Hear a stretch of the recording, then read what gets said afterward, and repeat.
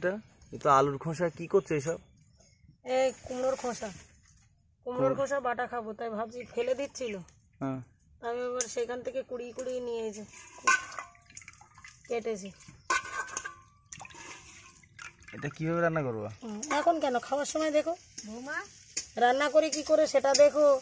কি করে খাওয়া- খাওয়ার সময় এ করো সেটা দেখো। আজকে কি কি রান্না হচ্ছে বলো তো? কুমড়ো আলু দিয়ে কাঁকড়া দিয়ে আর কাঁচকলা ভাজা আর কুমড়োর খোসাটা আলাদা করে বাটবো।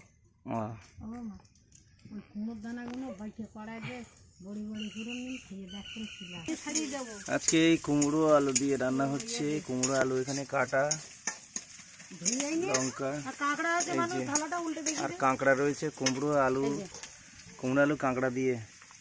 জমে ক্ষীর হয়ে যাবে। এই যে কাঁকড়া ভাজা রয়েছে আগের থেকে কুমড়ো আলু কাঁকড়া দিয়ে রান্না হবে।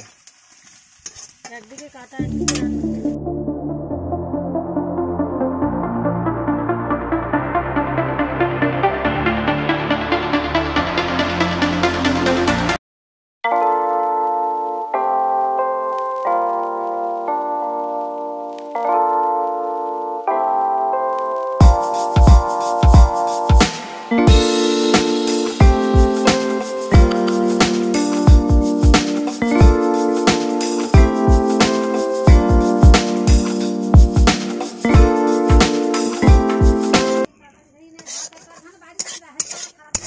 ভাজা হয়ে গেছে হ্যাঁ?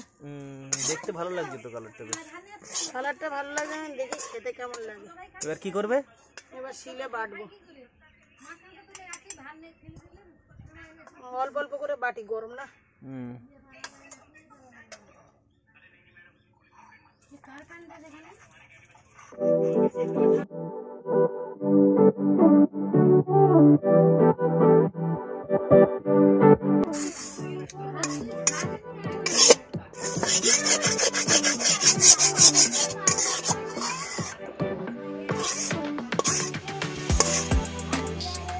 এটা কি কি একসাথে বাটা মানে দিয়েছে ভিতরে?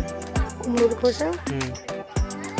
দিয়ে কুচিয়ে ধুয়ে নিয়েছি কড়াইয়ে তেল দিয়েছি হুম। তেলটা গরম হয়েছে কালো জিরে শুকনো লঙ্কা রসুন তেলের উপরে দিয়েছি দিয়ে এরকম করে ভেজেছি।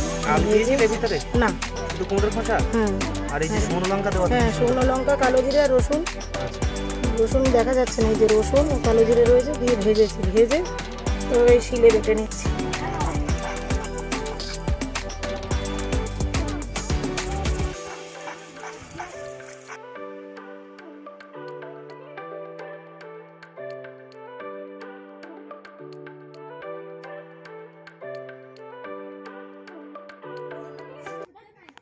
হয়ে গেল?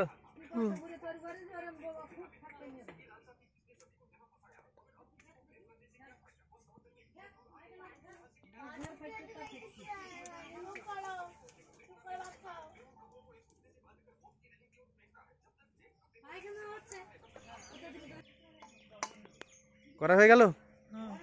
রান্না শেষ? বাটা শেষ? বাটা শেষ। হুম কেমন হয়েছে দেখি এবার? কেমন লাগল?